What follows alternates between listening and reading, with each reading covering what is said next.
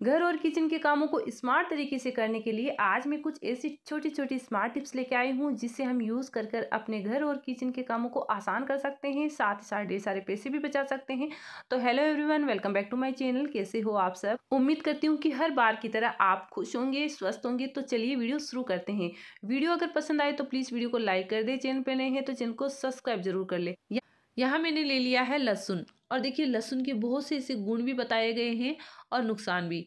तो फ्रेंड्स, हम सब्ज़ी और खाने को टेस्ट बनाने के लिए लहसुन का यूज़ करते हैं। लेकिन होता क्या है कि इसको छीलना बहुत ज़्यादा मुश्किल लगता है। तो आज मैं आपको एक ट्रिक बताऊँगी जिसके थ्रू आप ढेर सारा लहसुन छील सकते हो। थोड़ी सी मेहनत में बिल्कुल भी आपको एक्स्ट्रा मेहनत नहीं करनी पड़ती है लहसुन को छीलने के लिए। तो चलिए आज मैं आपको एक तरीका बताऊँगी। करना क्या है कि यहाँ मैंने ले लिया है लहसुन और इस लहसुन को हमें पहले क्या करना है, इस तरह से देखिए हम निकाल लेंगे जो भी इसकी कलियाँ हैं, वो हम अलग कर लेंगे, ताकि हमें आसानी होगी और जितना भी आपको लहसुन लेना है, उसके हिसाब से आप लहसुन को ले लीजिए। तो यहाँ देखिए मैंने दो यहाँ घंटिया ले लिया है लहसुन का और अब देखिए हमें छीलना कैसे? तो इसके लिए हमें लेना है ये ग्रेटर और देखिए इससे हम अदरक को किसके डालते हैं? लेकिन आज हम इससे लहसुन को छीलेंगे। कैसे छीलना है? बहुत ही काम की टिप्स है। तो देखिए, जब भी हम लहसुन को छीलते हैं तो लहसुन छीलने में ही हमारा टाइम चला जाता है। फिर उसको कूटने में तो आज हम ये काम एक साथ ही करेंगे और थोड़े से टाइम में। तो करेंगे, देखिए क्या, हमने यहाँ पे ग्रेटर ले लिया है और अब हम एक लहसुन की कली लेंगे और इस तरह से इसके ऊपर ही हम किस लेंगे? इससे देखिए जो भी लहसुन होगा, वो बारीक होके अंदर आ जाएगा और ये जो छिलका है, वो बाहर रह जाएगा। तो फ्रेंड्स, ये जो टिप्स है, बहुत ही काम की है। इससे देखिए हम लहसुन को भी छिल सकते हैं और इसको बारीक भी कर सकते हैं। जिसे हम सब्ज़ी में डालते हैं, सेम वैसे ही ये लहसुन आ जाता है। तो बिल्कुल भी हमें मेहनत नहीं करनी पड़ती है और थोड़े से ही टाइम में हम ये काम कर सकते हैं। तो इस तरह से देखिए हमारा एक ही टाइम में दो दो काम हो जाएगा और मेहनत भी नहीं करनी पड़ेगी और हमारा काम भी फटाफट हो जाएगा। तो आप इस तरह से आप ढेर सारा लहसुन को छिल सकते हैं और ये जो टिप्स है, ये देखिए शादी फ़ंक्शन में भी काम आ जाती है क्योंकि लहसुन छिलना सभी को मुश्किल लगता है और इस तरह से आप लहसुन को छिल सकते हो और एकदम अच्छे से बारीक भी कर सकते हो। तो फ्रेंड्स अगर आपको ये छोटी सी टिप्स के थ्रू ये इतना बड़ा काम आपको पसंद आया हो तो प्लीज़ इसे लाइक करें शेयर करें यहाँ देखिए मैंने लिया है चोपड़ा और इसमें मैंने रखी है रोली, मोली, सारा जो सामान होते हैं हम चोपड़े में रखते हैं। लेकिन फ्रेंड्स, इसमें दिक्कत होती है कि हम इसको बंद करके रख देते हैं तो इसमें फंगस लग जाते हैं और इसका जो कलर होता है वो भी लाइट पड़ जाता है और देखने में सुंदर नहीं लगता है।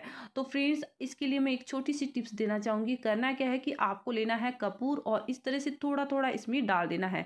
इससे ये होता है कि एक तो देखिए कलर चेंज नहीं होगा और ये बहुत बढ़िया से सही रहेगा। तो एक छोटी सी टिप्स के थ्रू बहुत ही बढ़िया तरीका है, ज़रूर इसको ट्राई करिएगा।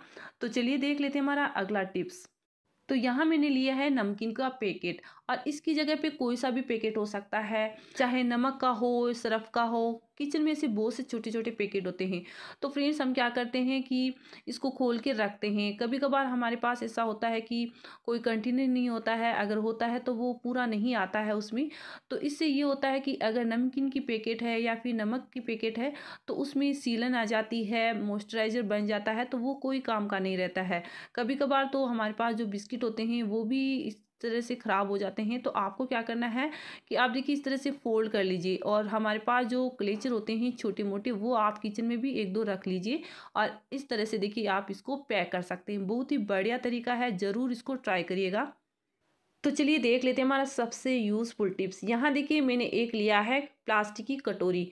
आपके पास जो भी है, आप वेस्ट वाला जो बर्तन, वो ले लीजिए। लेने के बाद आपको लेना है वेसलिन तो यहाँ देखिए मेरे पास अभी वेसलिन नहीं है बॉडी लोशन है, कोई सा भी आप जो यूज़ करते हो, वो ले लीजिए।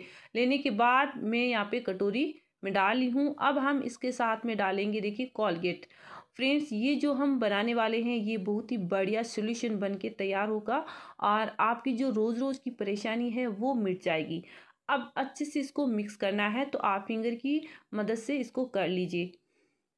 कोई भी इसकी कोई साइड इफ़ेक्ट नहीं है, ना ही ये कोई हमें नुकसान करता है तो आप देखिए उंगली से इसको अच्छे से कर सकते हो। इसका हमें यूज़ कहाँ पर करना है, कैसे करना है, वो भी आपको इन तक देखना है। अब हमारे पास देखिए चश्मे तो हमारे घर में होते ही है, बड़े बुज़ुर्ग रहते हैं तो उनके भी चश्मा लगा रहता है। आजकल तो बच्चों की भी देखिए चश्मा लगना शुरू हो गया है तो ये कोई बड़ी बात नहीं है। बड़ी बात होती है कि चश्मे को बार बार में साफ़ करना और उसको ध्यान से रखना ये होता है। तो आज मैं आपको एक छोटी सी टिप्स के थ्रू बताऊँगी। देखिए ये हमने जो सोल्यूशन बनाया है वो आप इस तरह से चश्मे के ऊपर लगा दीजिए। ये आपके बहुत ही ज़्यादा काम आएगा और देखिए दोनों साइड में आपको इस तरह से लगा के और थोड़ी देर के लिए आपको इसको रखना है, पंद्रह बीस मिनट, आधे घंटे के लिए ऐसे ही इसको छोड़ देना है। क्योंकि इसमें जो भी स्क्रैच लगे हुए हैं और अच्छे से क्लीन नहीं हो पा रहा है तो आप ये वाला जो हम बनाए हैं, वो ट्राई ज़रूर करिएगा। देखिए, सप्ते में आप दो बार कर सकते हो और बहुत बढ़िया से ये क्लीन रहता है। बिल्कुल भी कोई चश्मे का ऐसे कोई दिक्कत नहीं होता है और आप ये कांच में भी देखिए यूज़ कर सकते हो। अगर कांच बहुत ज़्यादा गंदा है, साफ़ नहीं हो पा रहा है तो आप इस तरह से इसको लगा के छोड़ सकते हो। अब देखिए हमें कोई भी एक कॉटन का कपड़ा ले लेना है और अच्छे से इसको साफ़ करना है। आप देख पा रहे हो कि जैसे भी मैं साफ़ कर रही हूँ, कितना बढ़िया से देखिए ये क्लीन होता जा रहा है। फ्रेंड्स ये बहुत ही बढ़िया तरीका है और आप देख सकते हो कितना परफेक्ट तरीके से हो चुका है। तो फ्रेंड्स ये वाला जो सोल्यूशन है, आप ज़रूर ट्राई करिएगा और आप देख सकते हो, देखिए तो अगर आपको ये तरीका पसंद आया हो तो प्लीज़ इसे लाइक करें, शेयर करें। तो चलिए देख लेते हैं हमारा सबसे लास्ट और सबसे खास वाला टिप्स। तो देखिए, छोटा है लेकिन बहुत ही काम का है। हमारे पास जो एक्स्ट्रा इस तरह के कप होते हैं, ज़्यादा तो होते ही हैं और हम क्या करते हैं, उसको ऐसे रख देते हैं। इससे देखिए, इससे भीड़ भी होती है। तो इससे तो अच्छा है कि हमारे पास जो ये चम्मच होते हैं, वो आप इसमें डाल के रख लीजिए। ये हमारा एक देखिए, बहुत ही बढ़िया सा चम्मच स्टैंड बन के तैयार है। तो आप इस तरह से रखिए या फिर चम्मच को इस तरह से। तो बहुत बढ़िया ये लगने वाला है, बिल्कुल भी आपको ये ख़राब नहीं दिखेगा। तो आपको अगर ये छोटी सी टिप्स पसंद आई हो तो प्लीज़ इसे लाइक करें, शेयर करें। हमें कहना क्या है कि एक कटोरी लेना है और उसमें आपको डाल लेना है पानी। और पानी आपको नॉर्मल लेना है तो यहाँ मैं देखिए थोड़ा सा पानी ले ली हूँ। अब देखिए जो भी हम च्यवनप्राश खरीदते हैं, फ्रेंड्स इसके बहुत से गुण बताए गए हैं, लेकिन अगर इसमें मिलावट हो तो वो हमारी सेहत के लिए बहुत ज़्यादा नुकसान भी करते हैं। तो हम इसको कैसे पहचान करेंगे? तो यहाँ मैंने कटोरी में पानी डाल लिया है। अब देखिए चम्मच में हम ये लगा लेंगे च्यवनप्राश और अब इस पानी में हमें इसको मिलाना है। अगर ये पूरा मिल जाएगा तो समझ लीजिए इसमें मिलावट है। ये च्यवनप्राश जो हमने लाए हैं, वो सही नहीं है। और अगर ये पानी में नहीं घुलेगा तो इसका मतलब है कोई भी इसमें ऐसी मिलावट नहीं है जो हमारे लिए नुकसान होगी।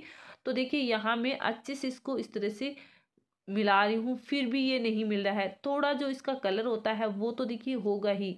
अगर हम इसको मिलाते, नकली होता, इसमें कोई मिलावट होती तो सारा ये जो है चम्मच में लगा हुआ, वो अलग हो जाता और अच्छे से पानी में घुल जाता। तो फ्रेंड्स, इस तरह से देखिए हम च्यवनप्राश की पहचान कर सकते हैं। तो देखिए, आप देख सकते हो, बिल्कुल भी पानी में नहीं घुला है, जैसे चम्मच में लगा हुआ था, वैसे ही अभी भी ये लगा है। तो फ्रेंड्स, अगर आपको ये छोटी सी टिप्स पसंद आई हो तो प्लीज़ इसे लाइक करें, शेयर करें। तो चलिए देख लेते हैं हमारा अगला यूज़फुल टिप्स। यहाँ देखिए मैंने ली है संडासी और इसको हम हमारी भाषा में संडासी बोलते हैं। आप क्या बोलते हो, मुझे कमेंट करके ज़रूर बताइएगा। तो देखिए फ्रेंड्स, आप देख सकते हो, किचन की तो हम पूरी क्लीनिंग करते हैं अच्छे से, लेकिन इस तरह की जो छोटे मोटे सामान होते हैं, उस पर हम ध्यान नहीं देते हैं। और जिसकी वजह से होता क्या है कि इसमें इतना गंदगी बढ़ जाता है चिट्ठा बढ़ जाता है और फिर वो आसानी से साफ़ नहीं हो पाती है। चाहे हम स्क्रब से कैसे भी करें, लेकिन ये क्या है कि इसकी जो कोनर होते हैं, अंदर इतनी गंदगी बढ़ जाती है तो वो आसानी से नहीं निकल पाती। तो फ्रेंड्स, आज मैं एक छोटी सी टिप्स के थ्रू आपको बहुत ही बढ़िया तरीका बताने वाली हूँ। करना क्या है कि आप जला लीजिए गैस को। तो देखिए, हमने यहाँ पे गैस जला ली है और अब इस संडासी को इसके ऊपर रख देना है और एकदम इसकी लो को कम कर लेना है। फ्रेंड्स, ये बहुत ही बढ़िया तरीका है और इस तरह से देखिए, बिना हाथ लगाई हम इसकी जो गंदगी है, भरी हुई, वो सारी साफ़ कर सकते हैं। तो आप देख पाओगे कि जब भी हम इसको इस तरह से गर्म करेंगे तो इसकी जो गंदगी है, वो जलकर साफ़ हो जाएगी। देखिए, और अब आप देख सकते हो कि अंदर में इतना बढ़िया से साफ़ होता जा रहा है और मैं इसको देखिए चाकू से निकाल लेती हूँ। आप देख पा रहे हो, देखिए कितना बढ़िया तरीके से ये निकला जा रहा है। इसलिए हमें क्या है कि गैस को जला के इसको साफ़ करना है। बिना हाथ लगाए, बिना किसी साबुन के आप साफ़ कर सकते हो। तो फ्रेंड्स, यहाँ मैं इसको अच्छे से साफ़ करी हूँ। तब तक आप मेरी वीडियो को लाइक कर दे, शेयर कर दे और यहाँ देखिए आप देख सकते हो कितना बढ़िया से देखिए ये साफ़ हो चुका है। इसकी जगह पे देखिए चिमटा भी होता है। चिमटा आपने देखा होगा कि ऊपर की साइड में भी उसमें चीठा भर जाता है तो वो हमारे खाने में लग जाता है। तो इस तरह के देखिए फ्रेंड्स जो होते हैं, उनको साफ़ करना बहुत ज़्यादा ज़रूरी होता है। तो फ्रेंड्स, आज की इस वीडियो में आपको सबसे यूज़फुल टिप्स कौन सी लगी, मुझे कमेंट करके ज़रूर बताइएगा। और अगली वीडियो आपको किस टॉपिक पे चाहिए, ये भी मुझे कमेंट करिएगा। तो मिलते हैं नेक्स्ट वीडियो में, ऐसी यूज़फुल वीडियो के साथ। Bye take care thank you for watching